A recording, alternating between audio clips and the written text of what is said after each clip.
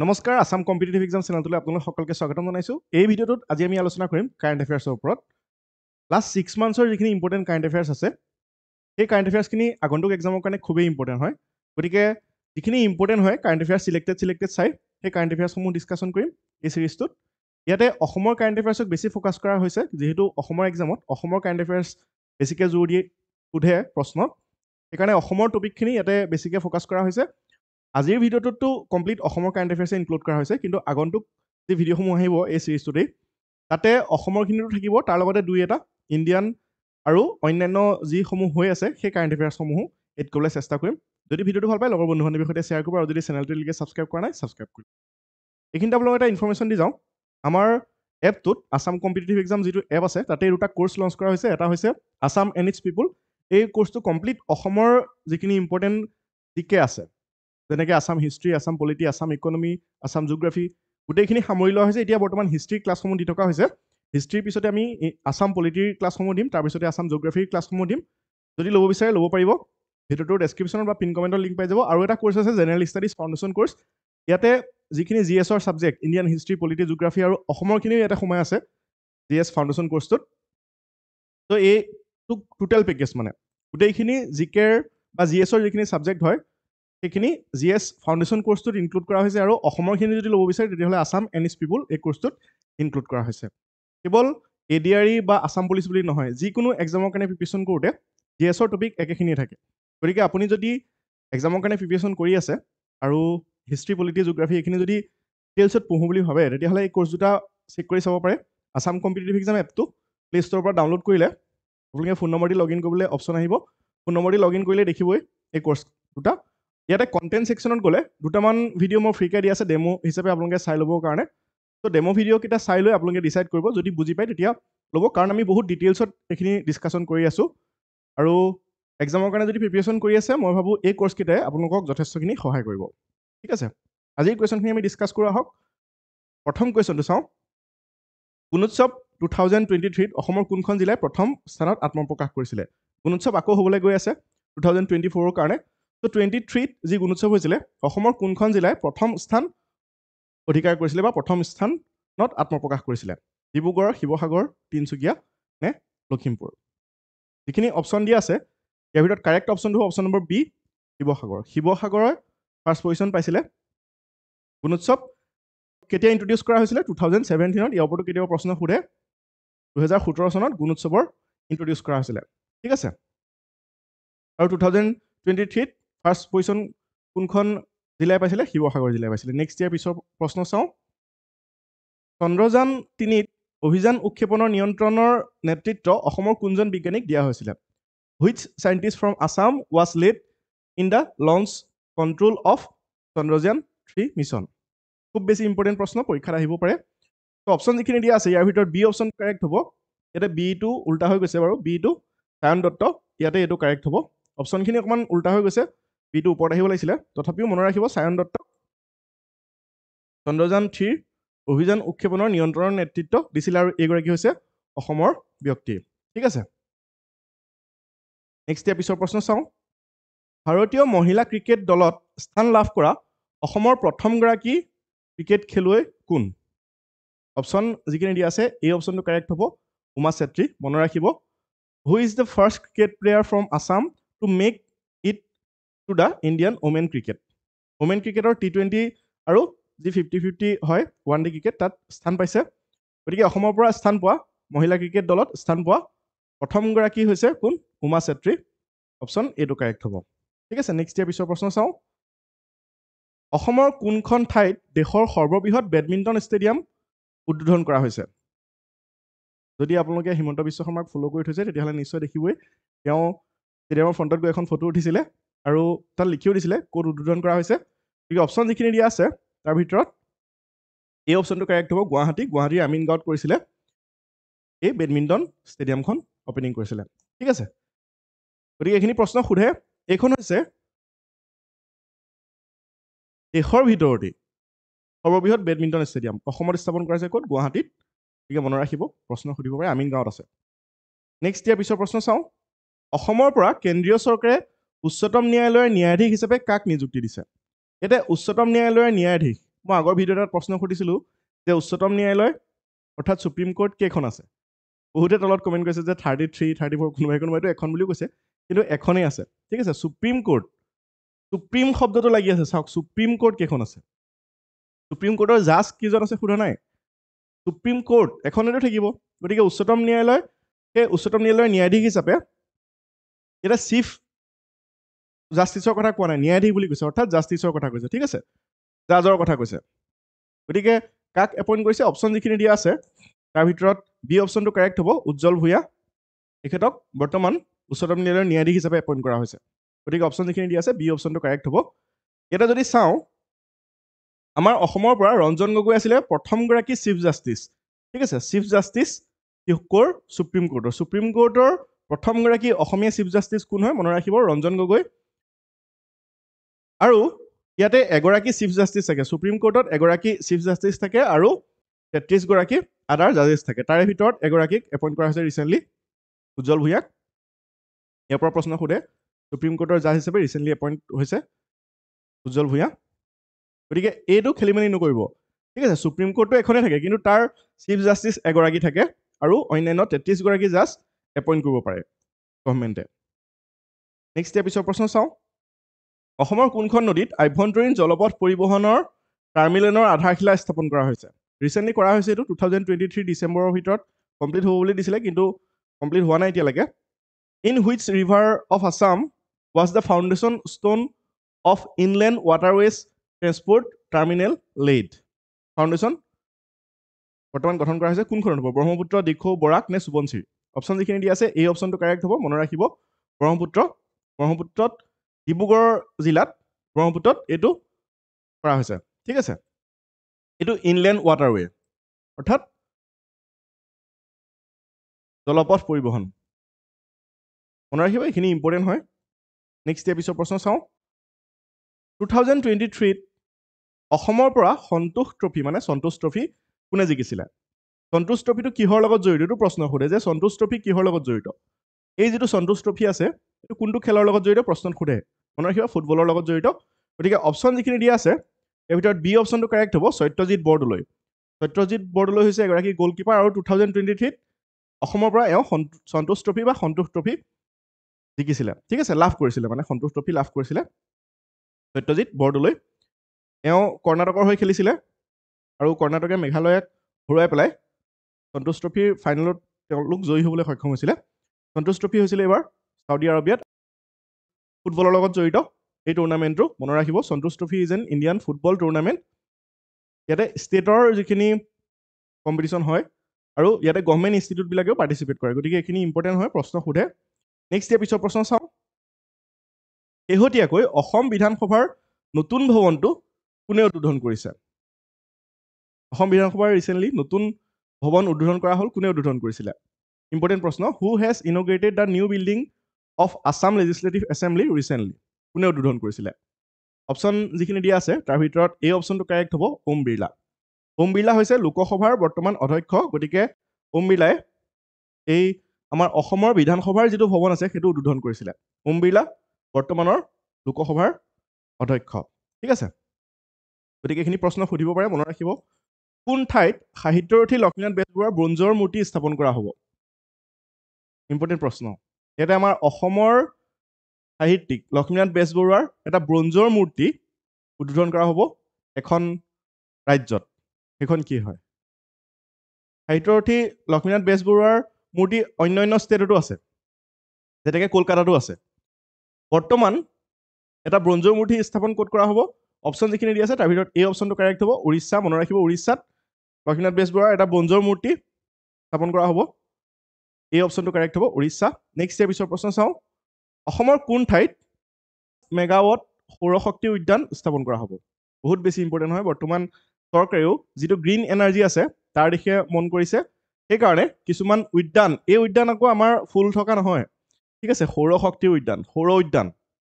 মানে তাতে প্লেট লগাব চ'লাৰ প্লেট যিবিলাক লগাব সেই চ'লাৰ প্লেটবিলাকে কি কৰিব? ইয়াতে কাৰেণ্ট প্ৰডাকশ্যন কৰিব। গতিকে সেই পঞ্চাছ মেগাৱাট সৌৰ উদ্যান স্থাপন কৰা হ'ব কোন ঠাইত? শোণিতপুৰ গুৱাহাটী যোৰহাট নে কাৰ্বি আংলং অপশ্যন যিখিনি দিয়া আছে এই অপশ্যনটো কাৰেক্ট হ'ব শোণিতপুৰ। গতিকে মনত ৰাখিব megawatt solar park will come up in which place of Assam option এইটো কাৰেক্ট হ'ব শোণিতপুৰ। শোণিতপুৰত হ'ব। নেক্সট ইয়াৰ পিছৰ প্ৰশ্ন চাওঁ। ভাৰতৰ প্ৰথমখন আন্তঃৰাষ্ট্ৰীয় মাল্টি মডেল লজিষ্টিক পাৰ্ক ক'ত হ'ব? নাও এই লজিষ্টিক পাৰ্কৰ ওপৰত বহুত বেছি গুৰুত্ব দিছে।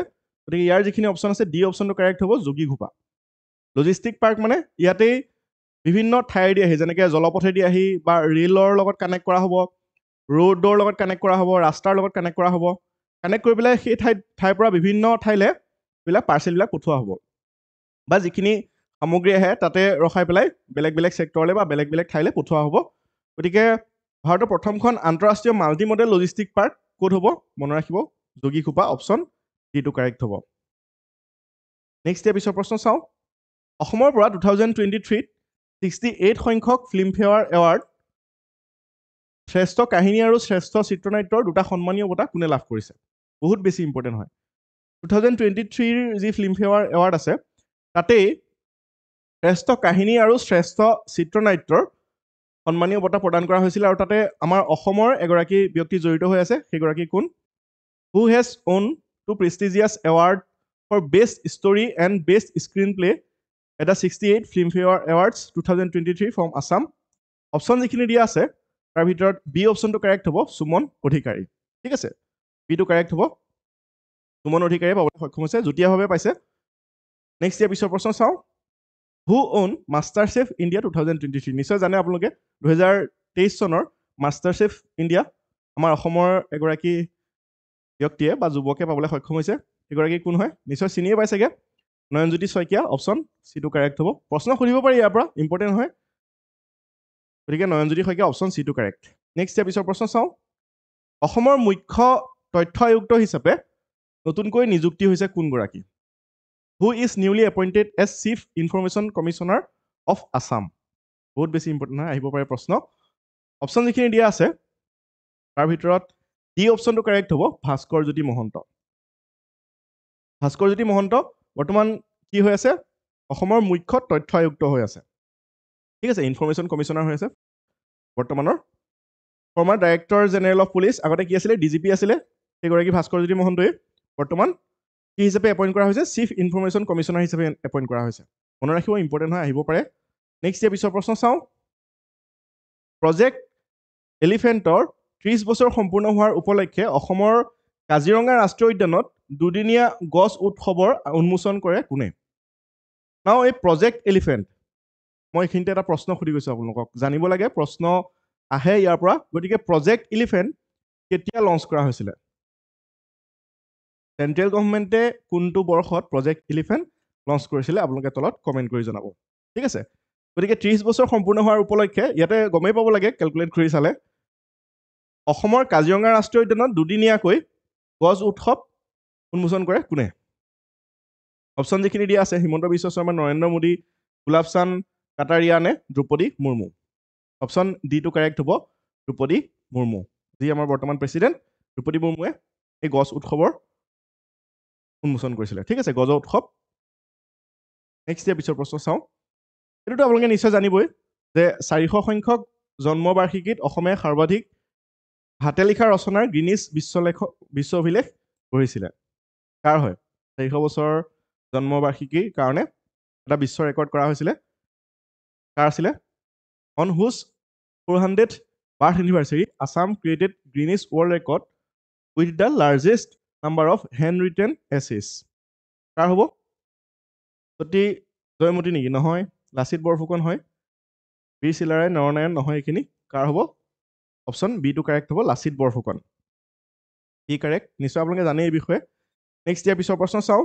বড়ো সাহিত্য সভাৰ নতুন সভাপতি কোন হয়?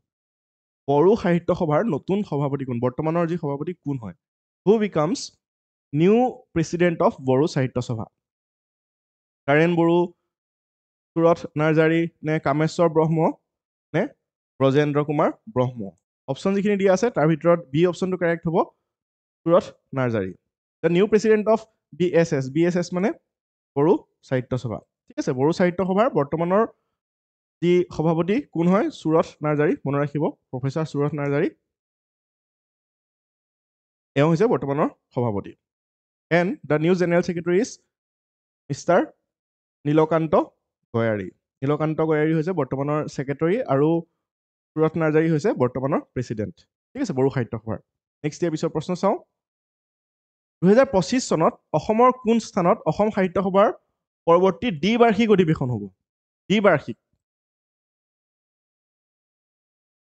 দুহেজাৰ পঁচিছ চনত হ'ব দ্বিবাৰ্ষিক অধিৱেশন। কোনটো স্থানত হ'ব? অসম সাহিত্য সভাৰ দ্বিবাৰ্ষিক অধিৱেশন। তেজপুৰ গোলাঘাট পাঠশালা গোৱালপাৰা। কোনটো অপশ্যন কাৰেক্ট হ'ব? আপোনালোকে যদি জানে তলত কমেণ্ট কৰি জনাব পাৰে।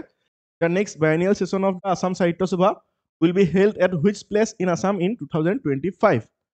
Option যিখিনি দিয়া আছে তাৰ ভিতৰত চি অপশ্যনটো কাৰেক্ট হ'ব। পাঠশালা। পাঠশালাত অনুষ্ঠিত হ'ব টু থাউজেণ্ড টুৱেণ্টি ফাইভত গতিকে ওপৰতো প্ৰশ্ন সুধিব পাৰে এনেকুৱা ধৰণৰ প্ৰশ্ন সোধেই।